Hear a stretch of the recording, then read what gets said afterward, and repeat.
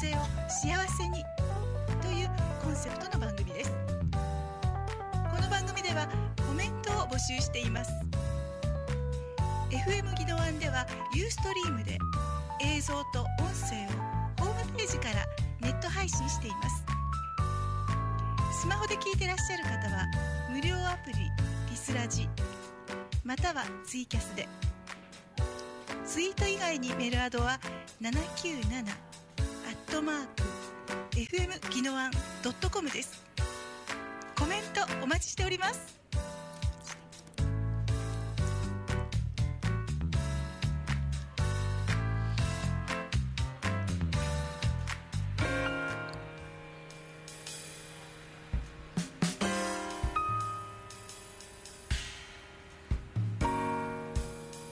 皆さんこんにちは、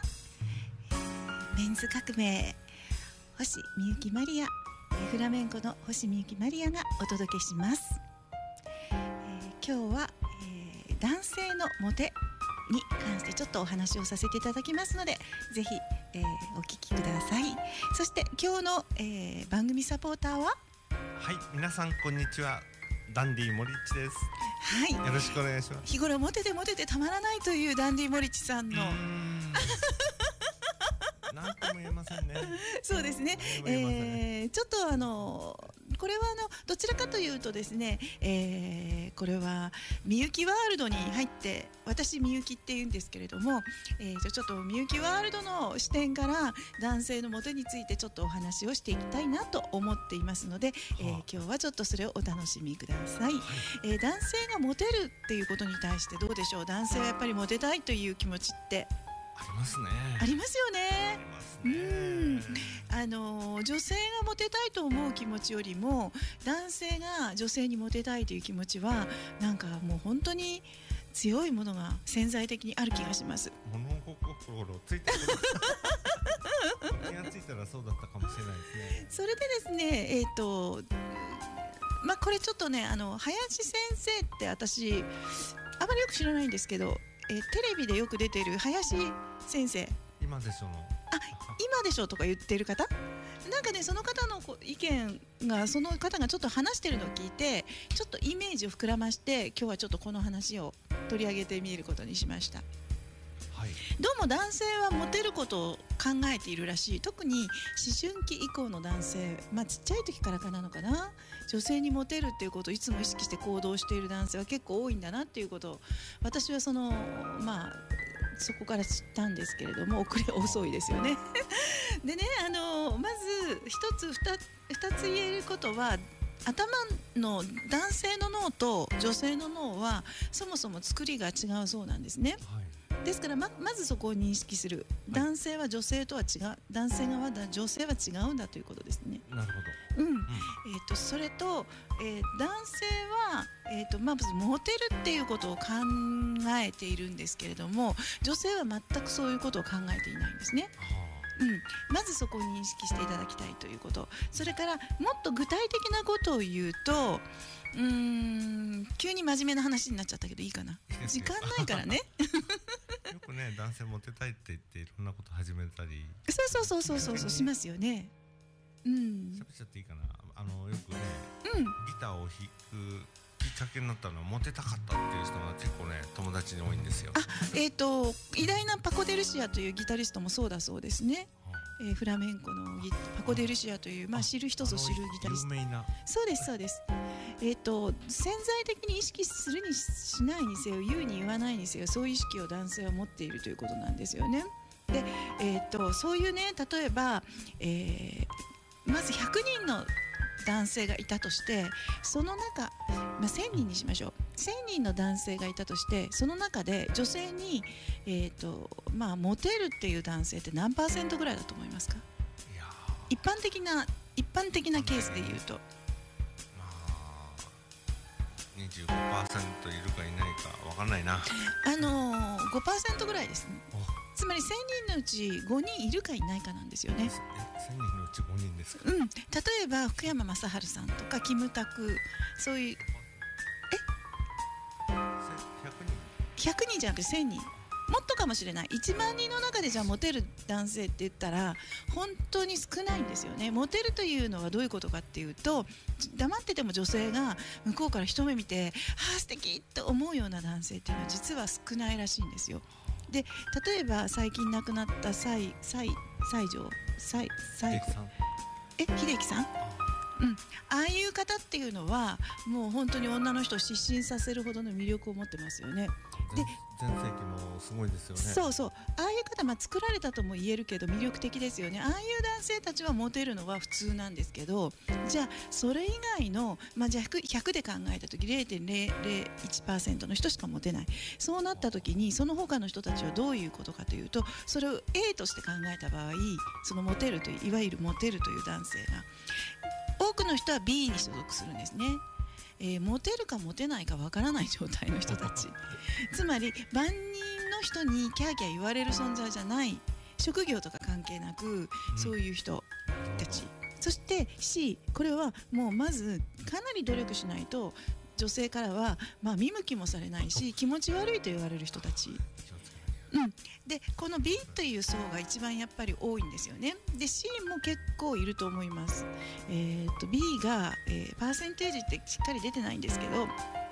B がこれ女性から見てですよ。男性がかっこいいとかいうことじゃなくて、えー、女性がいいと思う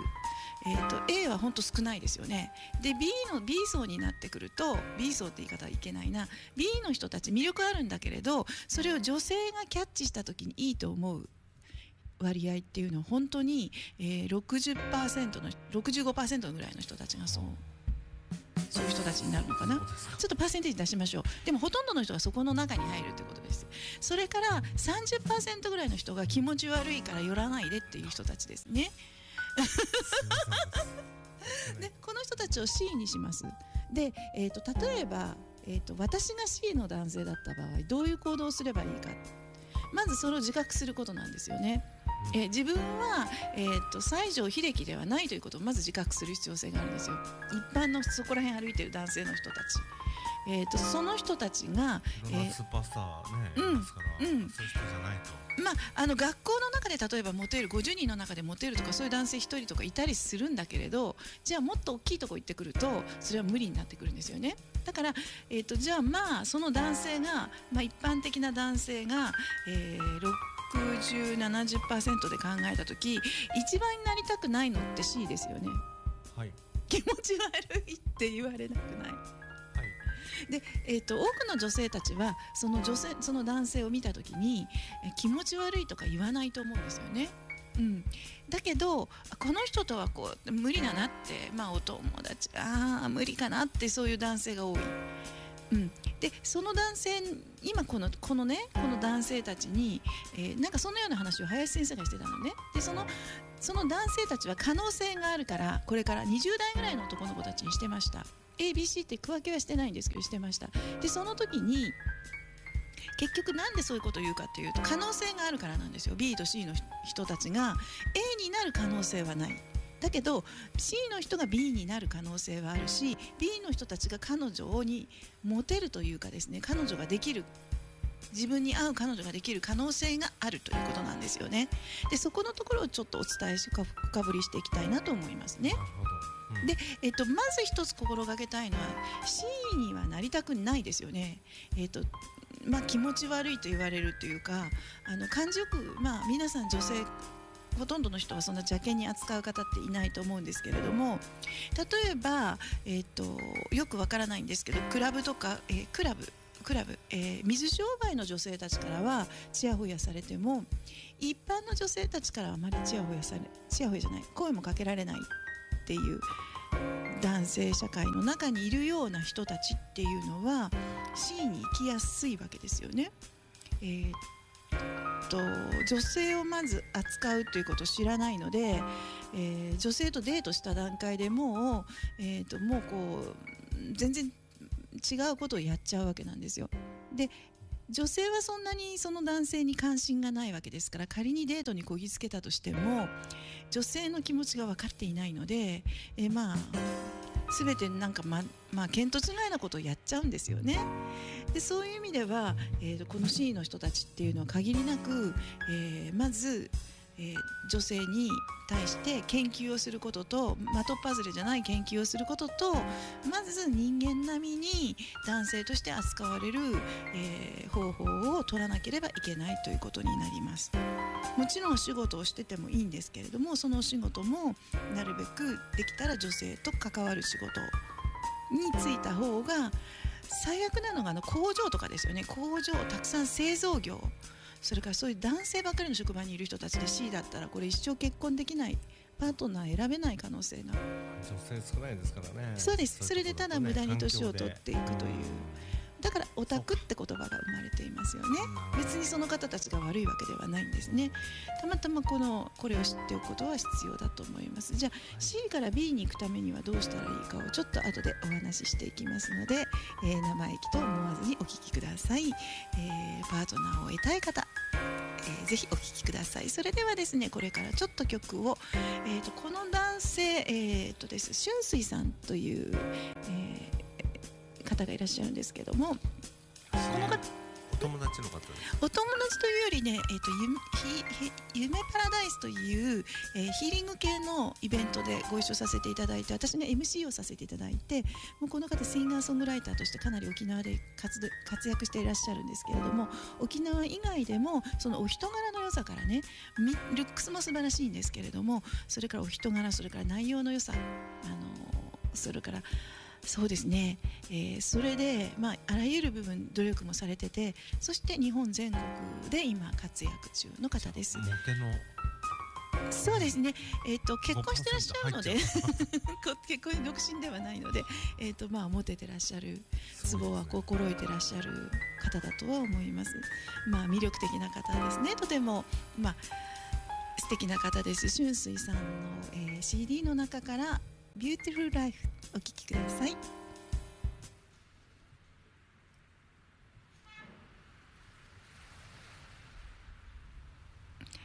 えーとですねいろんなとこでライブもされてますね。とても素敵な方です。もう一度歌う理由を見つけた Beautiful Life 神様が未来にくれたトレジャー Beautiful Life 感謝与えられたから歌いたい Beautiful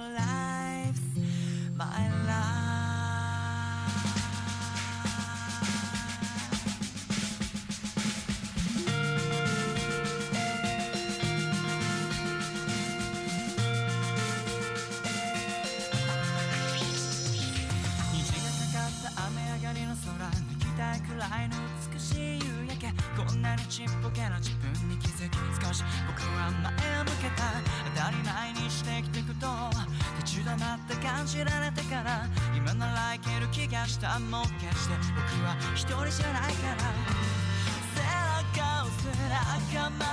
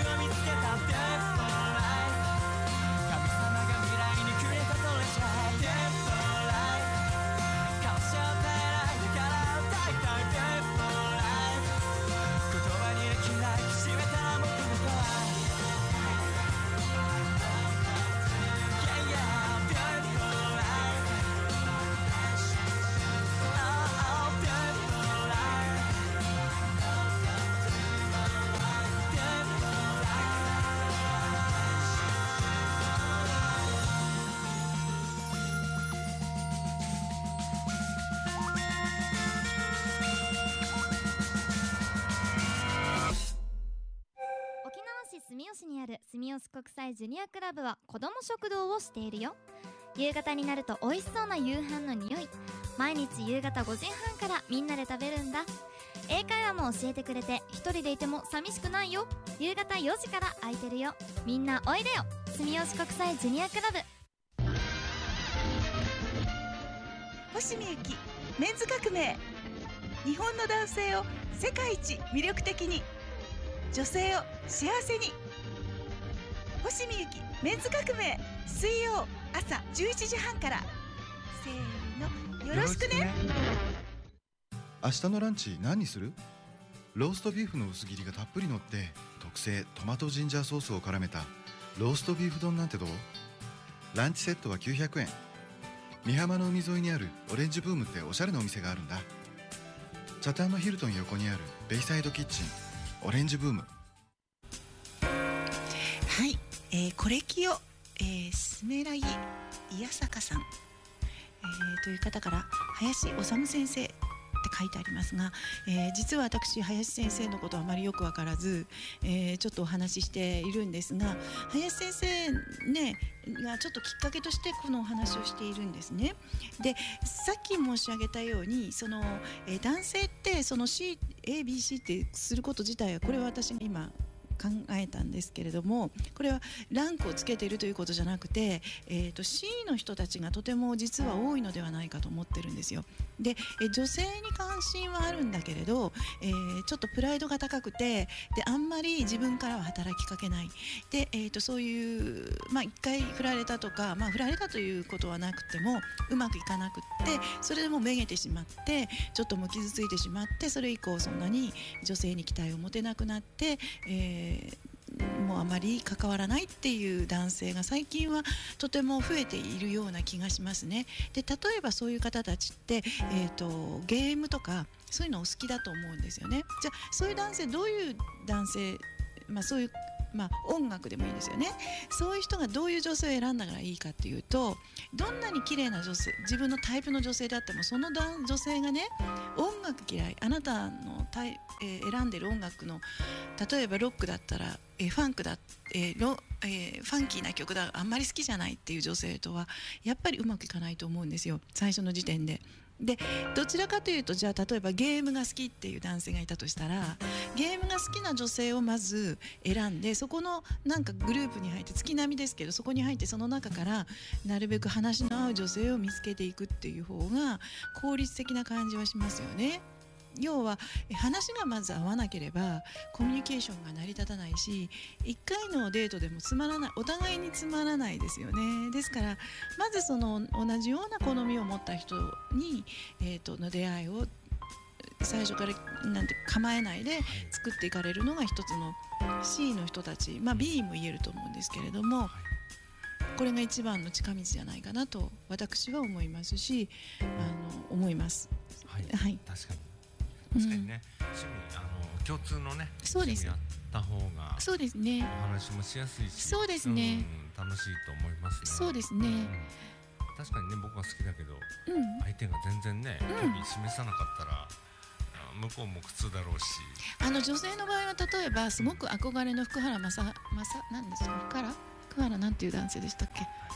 福原ええ何でしたっけ？さっきおっしゃってた。じゃあ西城秀樹さん？西城秀樹さんにとデートにに行ったとしたら西城秀樹さんに惚れ込んでいるので、えー、っと女性は彼が、えー、自分がカレーライスが食べたかったとしても彼がフランス料理店に連れて行ったらそこに女性は合わせていくと思うんですよね。でもそんなことやってたら男性の方は辛い側は辛いと思うんですよ。女性は結構そういう男性がいいと思ったら合わせます。でも男性はそれを仮にですよ好きでも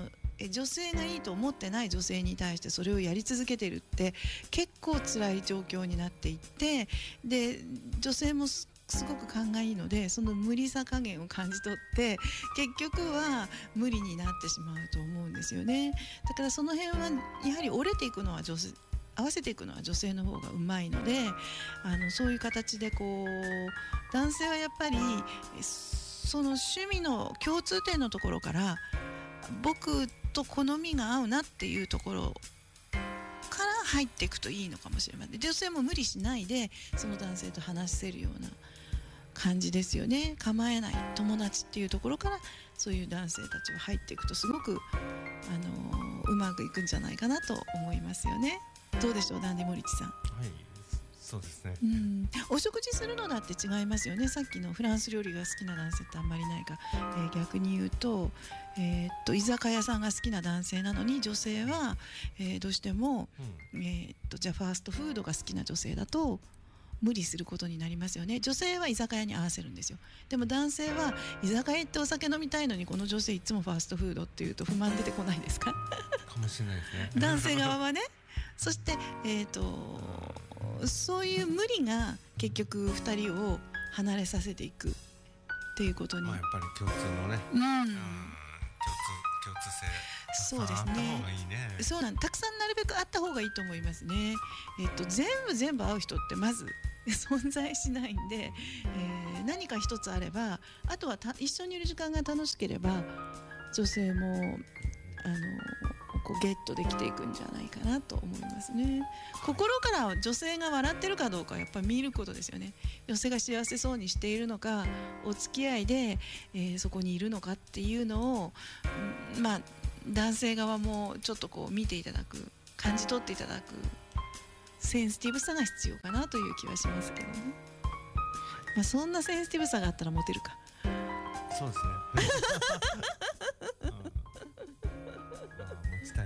そうですね。ほとんどの人はその一般的な男性になっちゃうわけですよね。その女性からルックスとかその雰囲気だけでキャーって言われる存在ではないんですね。でも一つ言えるのは男性が誰かそのこういうふうになりたいという、えー、今どういう人が人気なのか分かりませんが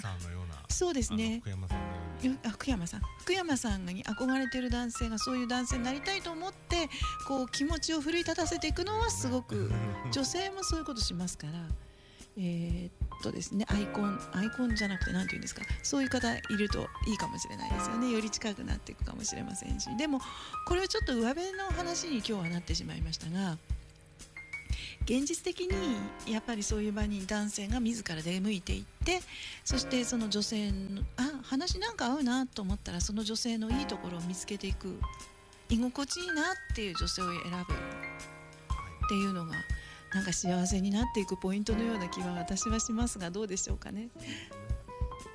あれ早いですね。そうですね。ね男性にとっていいお話をいろいろ聞かせていただいて。うんもっと深掘りしたかったんですけれども失礼します。続いてはいそうですね。星見ゆきマリア愛のメッセージです。はい。男性はね一生を通じた良い仕事に出会うということもとても重要なんですが、まあ、いいパートナー自分を理解してくれるパートナー居心地のいいパートナーに出会うことこれは本当に幸せの基盤になってくると思います豊かな人生になっていきますよね。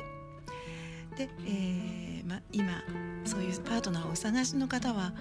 今日は本当にちょっとしかお話できなかったんですが、え、何か参考にしていただければいいかなと思います。皆さん素晴らしい男性なんですが、えー、間違えた女性の方にアタックしないようにということですね。はいそういうことです。そうです。女性もそうですよね。ですから私自身もあの自分にふそふさわしい自分の磨き方というのをあのこれからも続けていいきたいと思いますので今後ともなんか失礼がありましたらよろしく申し上げます。ご意見いただきたいなと思います。なんかあのこれきよさんからはこうチャット入ってますけど何でしょう。こんなわけで、えー、楽しく過ごさせていただきました。今日もありがとうございました。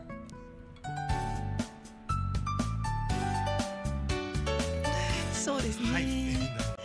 ー、どうでしょうね。男性はいくつになってもモテることができるんだけれども、えー、そこのところのポイントを、えー、ちょっとこう押さえてほしいなと思いますね。少し頑張らなくてはね。そうですね、えー、男性は生涯モテると私は思います。頑張りましょう。そうですね。そのためのアドバイスをさせていただきます。